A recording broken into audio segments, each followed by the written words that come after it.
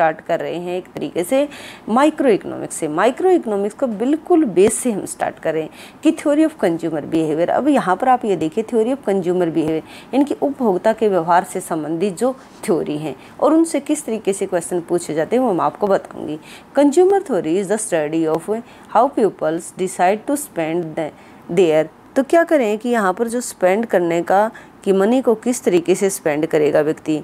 On their individual preference यानी कि वो अपनी इंडिविजुअल प्रेफरेंस के आधार से और बजट कंस्टेंट के आधार से, आधार पर। तो ये कह रहे हैं यहाँ पर कि consumer theory is the study of how people decide to spend their money based on their individual preference and budget consent simple इन्होंने यही बात बताई है कि वो अपने पैसे को खर्च करेगा, वो अपनी इंडिविजुअल प्रेफरेंस को देखते हुए और अपनी बजट बाधा को देखते हुए। आपके पास कितना बजट है, उसके हिसाब से आप खर्च कर पाओगे। और क्या क्या कोई प्रेफरेंस है, उसके आधार पर आप खर्च कर पाओगे। अब देखिए बिहेव अकॉर्डिंग टू बजट जब आप अकॉर्डिंग टू बजट बिहेव आप अपने बजट को देखते हुए, व्यवहार करते हो। और दूसरा है कि आप अपने हर्ट यानी कि अपने प्रेफरेंस को देखते हुए, इन दोनों को मिलाकर हम कहते हैं कि आपका ये ऑप्टिमल बिहेवियर है। बिहेव है एक तरीके से। थ्योरी ऑफ़ डिमांड जब हम बात करते हैं theory of demand theory of demand के अंदर थ्योरी ऑफ़ कंज्यूमर बिहेवियर के बारे में आप बात करोगे थ्योरी ऑफ़ कंज्यूमर बिहेवियर और थ्योरी ऑफ़ कंज्यूमर बिहेवियर में कौन कौन सी थ्योरी आती है? कार्डिनल कार्डिनल यूटिलिटी जो होती है, इसका मतलब है जिसको हम यूटिलिटी को वन टू थ्री फोर में मेजर कर सकते हैं। फिर सेकेंड है the indifference curve theory of cardinal फिर इंडिफरेंस करो कि आप बात करोगे, और क्या बता रहे हैं यहाँ पर कि जो एक सॉरी कार्डिनल नहीं है ऑर्डिनल है। तो द कार्डिनल यूटिलिटी तो आपने देख लिया कि वन टू थ्री फोर में मेजर करते हैं। और जो इंडिफरेंस करो के अंदर जो यूटिलिटी है, वो क्या होती है? ऑर्डिनल वेस्ट होती है, ये ऑर्डिनल है, इस ब्रैकेट में है ये। द रिवल्ड प्रेफरेंस हाइपोथेसिस मैंने आपको कल भी बताया कि रिवल्ड प्रेफरेंस का मतलब रिविल्ड का मतलब होता है देखना। ये पूरी की पूरी थ्योरी जो हो मार्केट ऑब्जर्वेशन बेस्ड है। उसके बाद है कंज्यूमर सरप्लस कंज्यूमर सरप्लस आप जानते हो, जो सिंपल मीनिंग होता है, यहाँ पर हम आपको मैथमेटिकल प्रूफ भी करके दिखाएँगे। कंज्यूमर सरप्लस का क्या मतलब होता है? इसका मतलब होता है कि जितना आप देना चाहते हो, और वास्तव में जितना आप देते हो, उन दोनों का डिफरेंस होता। और फिर कुछ अप्लीकेशन है इन डिफरेंस करोगे, उनके बारे में हम जानेंगे। ये सारे के सारे टॉपिक क्या हैं? इम्पोर्टेंट हैं। तो चलिए स्टार्ट करते हैं। कार्डिनल यूटिलिटी एनालाइज अब देखिए, सबसे पहले जो एचटेट हो या फिर नेट हो, कोई भी आप पीजीटी लेवल का जब क्वेश्चन पूछते हो तो सबसे पहले ये पूछा जाता है कि कार्डिनल यूटिलिटी जो है, उसको किसने एनालाइज किया था? तो आप बताओगे मार्शल और पीगो ने। अब आपसे पूछा जाता है कि उपयोगिता जो यूटिलिटी जो है क्या उसका मोरलिटी से कोई संबंध है? नैतिकता से कोई संबंध है? तो बिल्कुल भी नहीं है। देखिए, एक शराब भी जब शराब पीता है तो उसको वो यूटिलिटी देती है। एक जब बीड़ी पीने वाला सिगरेट पीने वाला, जब बीड़ी सिगरेट का यूज़ करता है तो उससे उसको यूटिलिटी मिलती है। तो इसका नैतिकता से दूर दूर का भी संबंध नहीं है। अब देखिए, उपयोगिता जो सब्जेक्टिव है, और इसमें किसी प्रकार की नैतिक महत्व नहीं पाया जाता। देखिए, अब देख, ये सब्जेक्टिव का क्या मतलब होता है? यानी कि जो यूटिलिटी होती है, वो पर्सन टू पर्सन वेरी करते देखिए, हम एक ऑब्जेक्ट होता है, एक होता है ऑब्जेक्ट ऑब्जेक्ट का मतलब मान लेते हैं कि मान लिया जाए कि एक एप्पल है। और जो एप्पल है, ये सब के लिए एक जैसा है। अपनी तरफ़ से एक जैसा लेकिन देखिए, मान लिया जाए कि इस एप्पल को किसी ए पर्सन कंज्यूम करे या फिर बी करे सी करे हो सकता है कि सी पर्सन को बहुत ज़्यादा पसंद हो, इसलिए इसको अच्छा लगता है। ए बिल्कुल भी इसको पसंद नहीं करता हो तो इसके लिए ख़राब है। और बी हो सकता है कि थोड़ा बहुत इसको पसंद करता हो। देखिए, ऑब्जेक्ट एक है, लेकिन जो इसकी यूटिलिटी है वो पर्सन टू पर्सन वेरी करती है। इसलिए जो यूटिलिटी होती है, वो कैसी होती है? सब्जेक्टिव होती है।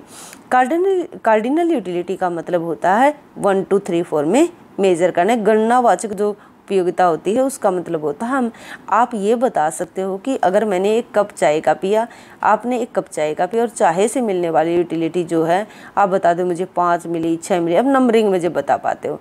अगला मोस्ट इंपॉर्टेंट है कि यूटिलिटी को मापने के पैमाने को यूटिल्स, यूटिल कहा जाता है और जो यूटिल्स, जो शब्द है, वो फिशर ने दिया है।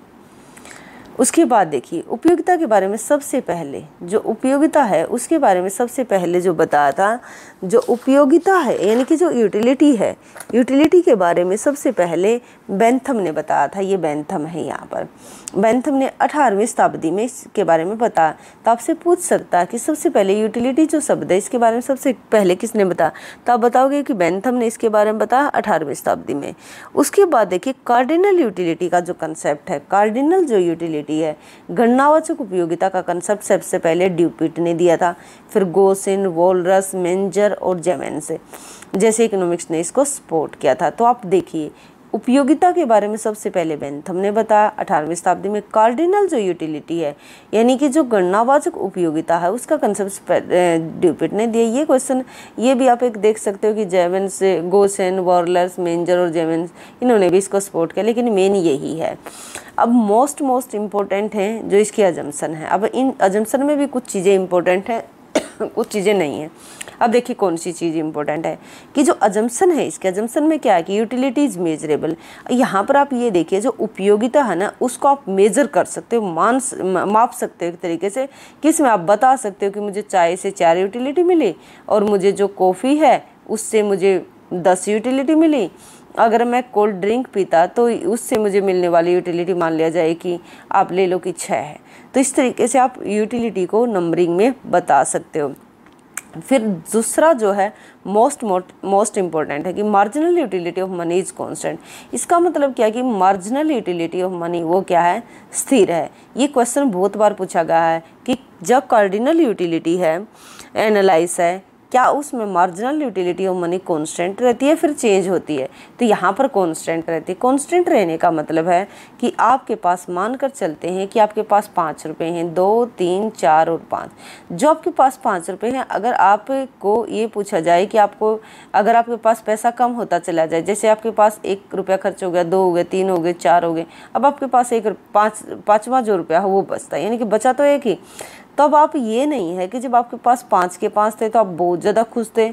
अगर आपके पास एक रह गया तो बहुत ज़्यादा दुखी हो गए। नहीं, आप सबकी इम्पोर्टेंस आपके लिए एक समान है। इसलिए कहते हैं कि यहाँ पर जो यूटिलिटी है मार्जिनल यूटिलिटी वो कॉन्स्टेंट है।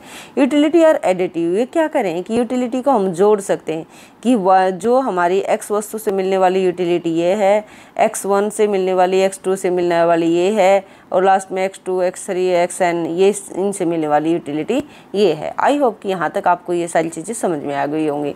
अब चौथी अजम्सन है कि diminishing marginal utility diminishing marginal utility का क्या मतलब है? जैसे जैसे मार्जिनल का मतलब होता है एक्स्ट्रा जैसे जैसे हम एक्स्ट्रा कंज्यूम करते जाते हैं कमोडिटी को तो उनसे मिलने वाली जो संतुष्टि हमारी घटती चली जाती है। तो इसलिए लिखा हुआ है कि मार्जिनल यूटिलिटी ऑफ़ फ़ंक्शन है के एक्स का। इसका मतलब जैसे जैसे क्वांटिटी ऑफ़ एक्स बढ़ेगी वैसे वैसे उससे मिलने वाली यूटिलिटी घटेगी। फिर है कि रेशनैलिटी ये बिल्कुल इंपॉर्टेंट है और इससे रिलेटेड 2019 में एस्टेट में क्वेश्चन भी पूछा गया है। अभी मैं आपको दिखाऊँगी किस तरीके का क्वेश्चन है। अब ये क्या दिखा रहा है कि मार्जिनल यूटिलिटी ऑफ़ एक्स वो ग्रेटर देन है प्राइज ऑफ़ एक्स से। या ब्रैकेट में मार्जिनल यूटिलिटी ऑफ़ मनी अब देखिए ये करें कि जो मिलने वाली यूटिलिटी इक्विलिब्रियम में कहाँ पर होते मार्जिनल यूटिलिटी ऑफ़ एक्स इतना ही यूटिलिटी मिला, इतना ही आपने उस वस्तु के लिए पे किया। लेकिन इसमें क्या है कि यूटिलिटी ज़्यादा मिल रहा है और उसकी पेमेंट कम है। तो आप इसको कब तक खरीदते रहोगे? जब तक इसकी यूटिलिटी जो है उसकी कीमत के बराबर नहीं हो जाती। तो है इसका मतलब है कि उपभोक्ता एक्स कॉमोडिटी को तब तक कंज्यूम करता रहेगा, जब तो marginal utility of X price of X या मार्जिनल यूटिलिटी ऑफ़ एम के, यानी कि मार्जिनल यूटिलिटी ऑफ़ मनी के बराबर नहीं हो जाती। अब देखिए इंपॉर्टेंट है। ये दिया गया है क्योंकि इस थ्योरी के अंदर अजम्सन में क्या माना गया कि प्राइस ऑफ़ एक्स क्या है? कांस्टेंट है। जब प्राइस ऑफ़ एक्स कांस्टेंट है और यहाँ पर हमने प्राइस ओ आई एक्सीज पर, जो वो आई एक्सीज हमने यहाँ पर प्राइस को लिया और मार्जिनल यूटिलिटी को लिया है। और यहाँ पर क्या लिया? क्वांटिटी को। जैसे जैसे क्वांटिटी इंक्रीज करेगी, वैसे वैसे जो इससे मिलने वाली यूटिलिटी क्या है? ये कोई भी जो कमोडिटी है, उससे मिलने वाली यूटिलिटी डिक्रीज करेगी। जो ई e पॉइंट है, वो इक्विलिब्रियम का पॉइंट है। ये ई e पॉइंट आपको दिखाता है कि मार्जिनल यूटिलिटी ऑफ़ एक्स और उस जितना आपने पे किया है, दोनों के दोनों बराबर हैं। अब देखिए मीनिंग है कि जो, और ये क्या डाउनवर्ड स्लोप है, ये डाउनवर्ड स्लोप का पता है, जैसे जैसे क्वांटिटी इंक्रीज होगी, उससे मिलने मान, मिलने वाली यूटिलिटी डिक्रीज होगी। देखिए, ये भी मोस्ट इंपॉर्टेंट क्वेश्चन है। एक तो ये आपसे ये पूछता है कि क्या होगा अगर एक वस्तु से जो यूटिलिटी है मार्जिनल सीमांत जो उपयोगिता, वो ज़्यादा मिल रही है, उसके प्राइस कम है तो कब तक वो भोगता खरीदता रहेगा? यानी कि दोनों इक्वल ना हो जाए। इसका अपोजिट भी पूछ सकता है कि प्राइज ऑफ़ एक्स फिर क्या करेगा यहाँ? तो खरीदता रहेगा यहाँ पर, कम करता रहेगा। अब है यूटिलिटी उपयोगिता का मीनिंग क्या है? Want satisfying capacity of a goods is called the utility is called utility इसका मतलब क्या है? कि आपकी इच्छा को जो भी वस्तु संतुष्ट कर एक, आपकी इच्छा को संतुष्ट करने की जो कैपेसिटी होती है किसी वस्तु में वही क्या कहलाएगी? यूटिलिटी कहलाएगी। उसके बाद देखिए छठी जो अजम्सन है वो है इंडिपेंडेंट यूटिलिटी बिल्कुल। ये करें कि मान लिया जाए कि आप एक तो एप्पल का यूज़ कर रहे हो और दूसरा आप यूज़ कर रहे हो, मान लिया जाए कि एक तरीके से कॉफ़ी का। तो वो करें कि जो ये कॉफ़ी एप्पल का आप यूज़ कर रहे हो तो इसकी यूटिलिटी ये इसको बिल्कुल भी प्रभावित नहीं करेगी। इनका मतलब ये है कि आपस में इंडिपेंडेंट है। डिविजिबिलिटी डिविजिबिलिटी का क्या मतलब है? इसका मतलब है कि हम कमोडिटी का जो कंजम्पशन करते हैं यूज़ करते हैं, वो बिल्कुल आप ऐसे से कर सकते हो। मान लिया जाए कि आपने एक एक कप पानी का या चाय का करके पी सकते हो, एक एक कप कोल्ड ड्रिंक का, ऐसे एक एक एक करके एप्पल खा सकते हो। तो ज़रूरी नहीं है कि आप एक बार में ही या तो सारा खा जाओ। तो या फिर वो करें कि जो डिविजिबिलिटी इनकी डिवाइड कर सकते हो। फिर कि टोटल यूटिलिटी का फार्मूला क्या होता है? टोटल यूटिलिटी जो होती है, वो समीशन ऑफ़ मार्जिनल यूटिलिटी होती है। और मार्जिनल यूटिलिटी का फार्मूला क्या होता है? टोटल यूटिलिटी ऑफ़ एन और total utility of N minus one यानी कि जो अब जो यूटिलिटी निकल कर आई है, इसमें से पुराने वाली यूटिलिटी को घटा दो। या फिर ये होता कि change in total utility divide by change in X X वस्तु में चेंज होने से उसकी उपयोगिता में कितना चेंज आया अब आगे देखिए, यहाँ पर ये मोस्ट मोस्ट इम्पोर्टेंट डायग्राम है। यहाँ पर ये टोटल यूटिलिटी दिखाया गया है मार्जिनल यूटिलिटी स्टार्टिंग में आप देख रहे हो कि जो टोटल यूटिलिटी है जब आप एक यूनिट्स लेते हो तो उस टाइम पर टोटल यूटिलिटी क्या है? ज़ीरो है। और उसी टाइम पर मार्जिनल यूटिलिटी भी क्या है? ज़ीरो है। उसके बाद आप यहाँ पर ओ आई एक्सिस पर टोटल यूटिलिटी मार्जिनल यूटिलिटी और यहाँ पर नंबर ऑफ़ यूनिट्स को लिया गया है। अब देखिए जब जैसे जैसे यूनिट इंक्रीज करती हैं वैसे वैसे टोटल यूटिलिटी क्या करती है? इंक्रीज करती है बट डिक्रीजिंग रेट से। डिक्रीजिंग रेट का मतलब है डबल से कम से बढ़ती है। मार्जिनल यूटिलिटी जैसे जैसे इंक्रीज करती है, वैसे वैसे क्या है? इंक्रीज करी है डिक्रीजिंग रेट से बढ़ रही है। डिक्रीजिंग रेट का मतलब होता है, जैसे कि मान लिया जाए कि दो से, पाँच है, पाँच से ज़्यादा दस हो जाना है तो ये होता है कांस्टेंट रेट लेकिन पाँच से यदि आप सात चले गए, आठ चले गए, नौ चले गए, जो डबल से कम होता, वो होता डिक्रीजिंग तो ये जो यूटिलिटी करा होता, वो इंक्रीज करता, बट डिक्रीजिंग रेट तो ये देखिए, इस पॉइंट तक क्या होता है? इस पॉइंट तक जहाँ पर ये टोटल यूटिलिटी कॉन्स्टेंट नहीं होती, उससे पहले आप देखिए, यहाँ पर क्या हो जाएगा? आपकी मार्जिनल यूटिलिटी डिक्लाइन कर रही थी, आपकी मार्जिनल यूटिलिटी डिक्लाइन कर रही थी बट पॉजिटिव थी। पॉजिटिव होगा जब इस नेगेटिव होगा जब इस लाइन को क्रॉस कर लोगे।